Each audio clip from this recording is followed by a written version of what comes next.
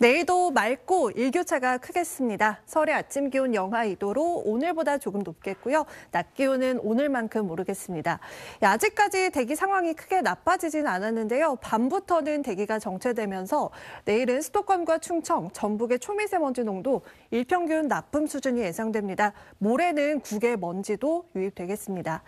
대기의 건조함도 계속되고 있습니다. 오늘 대구 경북으로도 건조주의보가 확대됐습니다. 한편 호남과 서울과 경남, 제주 지역에는 오늘 밤 사이에 비나 눈이 조금 내리겠고요. 내일 아침부터는 전국 하늘 맑아지겠습니다. 내일 자세한 기온 보시면 아침에 서울이 영하 2도, 대전 영하 3도로 출발하겠고요. 낮 기온은 서울이 8도, 대구 12도, 부산 13도까지 오르겠습니다. 금요일과 토요일 사이에 동해안에는 비나 눈이 내릴 텐데 특히 강원 영동 지역에는 모레 하루 최고 7cm의 많은 눈이 예상됩니다. 날씨였습니다.